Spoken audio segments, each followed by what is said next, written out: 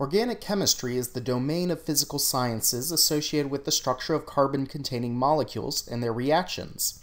At the beginning of the field in the 19th century, organic chemistry was distinguished from other disciplines not based on the chemistry of carbon, but rather on the study of matter derived from living systems. Ultimately, it became clear that the chemistry of life is a subset of the chemistry of carbon. In this lecture series, we are discussing how to alter the chemical composition of the cell using genetic engineering. Thus, you need to understand some basic concepts of organic chemistry, so let's recap the critical points. When we examine a petri dish, we are looking at clumps of around a million bacteria. When we zoom in here, you can almost make out one of these bacteria from the colony. If we look closer with an electron microscope, we can see the individual bacteria more clearly. If we zoom in further, we get to a size scale that is no longer visible by traditional microscopy, but artists can illustrate what goes on inside the cell. We see individual proteins, the membranes, and a flagellum. If we zoom in yet further, we get to the atomic level in which molecules, like proteins, DNAs, and metabolites, all have very specific configurations of covalently and non-covalently associated atoms. The world is made of tiny balls called atoms and other fundamental particles like electrons and photons. It is not continuous. From physics we know that atoms are themselves made of yet smaller balls, and in nuclear reactions atoms can be split or joined and thereby change identity. However, at the energy levels that we encounter in the biological world, nuclear reactions do not occur, so you don't need to worry about anything smaller than atoms. Atoms interact with each other in stable configurations on two different energy scales. The stronger interactions, called covalent interactions, have bond energies on the scale of 300 kilojoules per mole. The other type, non-covalent bonds, are much less stable with energies on the scale of 20 kilojoules per mole. In the context of the dynamic water-rich environment of the cell, the energy difference between covalent and non-covalent bonds is even more pronounced. Since we are dealing with many punctate atoms and the pairwise edges that connect them, we can describe the cell as a big network of atoms and bonds. We can also describe aggregates of atoms within that network and describe the structure of these connected subgraphs. When we speak of the graph that results from covalent bonds between atoms, we call that a molecule. When we speak of the graph resulting from non-covalent interactions between molecules, we call that a complex. The remainder of what happens inside the cell is defined by the Schrodinger equation. This equation from quantum mechanics describes the energies and waveforms of the electrons surrounding the atoms. It describes the various states that the electrons will exist in. Chemical reactions involve changes to these electronic states and transitions of electrons between these states. The problem with Schrodinger is it turns out to be really difficult to solve. It can only be solved exactly for trivial systems like a hydrogen atom. It can be solved numerically, but it's, in, it's computationally intensive to do so. Physical organic chemists will often use such calculations to help them understand observed reactions that defy simpler explanations. However, simpler chemical theories such as VSEPR can explain the great majority of the chemical reactions that happen in biological systems. So we will focus on this theory. The VSEPR theory is the one that deals with hybridization on an atom. It is the theory whose consequences are physically encoded in the components of a chemical modeling kit, like shown here. To make a stable molecule, minimally all the holes in the atom pieces need a bond piece put in them. Every end of the bond piece needs to attach to some atom piece. The simplest rule implied by these kits that carbon likes 4 bonds, oxygen likes 2, nitrogen likes 3, and hydrogen likes 1 are almost always true in the chemical reactions observed for biological systems. Additionally, this view of chemistry implies the existence of two types of bonds, sigma bonds and pi bonds. These bond patterns can be understood as pairings of orbitals between the two atoms. When a carbon, oxygen, or nitrogen atom exists in the sp2 hybridization state, it can use some of its available electrons to make these double bonds as pi bonds.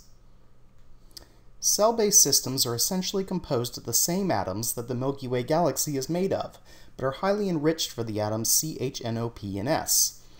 Some common atoms like helium and neon are inert, so they play no role in biology. Others, such as iron, magnesium, and chloride, play major roles but are not involved in forming covalent bonds. For a chemical to be stable in water, it must be a highly stable molecule. Water is very reactive.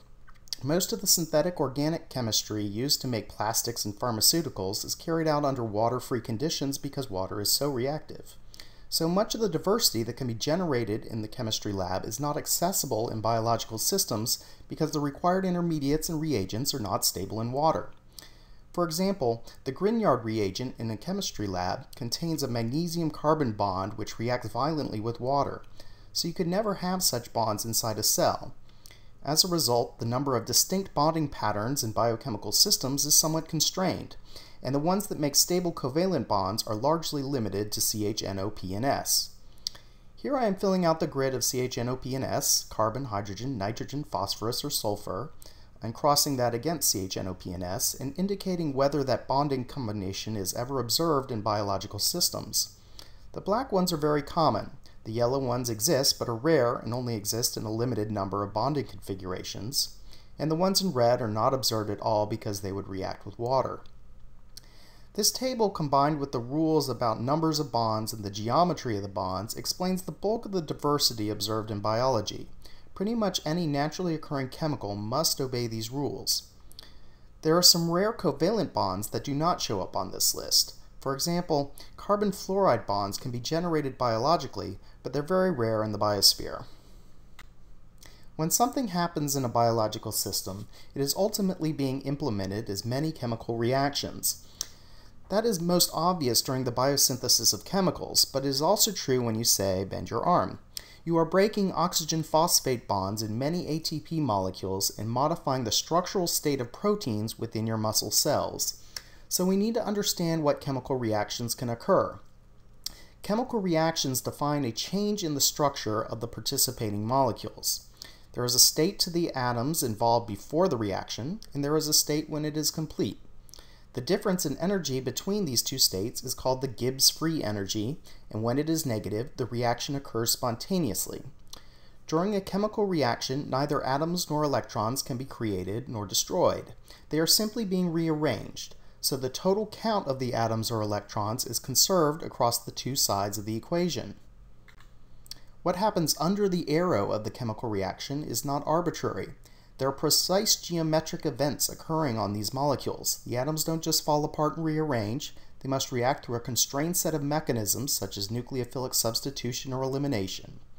In organic chemistry, the number of mechanisms available is very rich, primarily because transition metal com complexes, these are things made with carbons bonded to atoms like palladium, they'll do fancier things.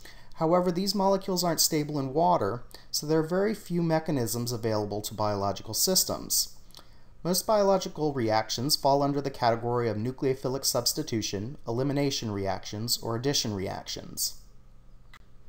Reaction mechanisms can be represented visually using arrow pushing.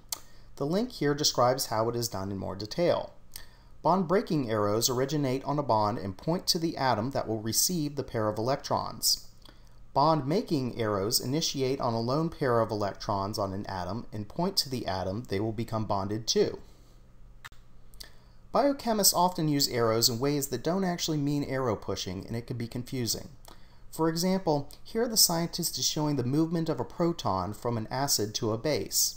To draw this more accurately from an arrow pushing perspective, the electrons on the base should be attacking the proton, and then the bond between the H and the O should be broken with the electrons returning to the oxygen. In the product conjugate base, the electrons are not distributed across the entire hydroxide molecule as implied. They are localized to the oxygen atom, so the point here is to be a little careful in reading the diagrams you see in figures. Sometimes people use the notations of organic chemistry to mean other things.